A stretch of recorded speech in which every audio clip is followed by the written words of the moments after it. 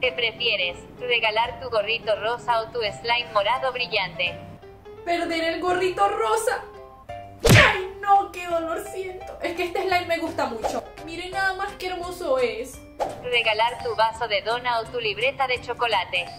Regalar mi agendita de chocolate. ¡No! Olía a chocolate. Es que este vaso me gusta mucho. ¿Regalar el Funko del payaso It o el llavero de Hello Kitty? Mm, yo creo que perder el Funko del payaso It. Que este llavero me encanta. ¿Regalar tus lentes rosados o tus lentes morados? Regalar mis lentes morados. El rosado es mi color favorito. Ahora comenten qué habrían escogido ustedes.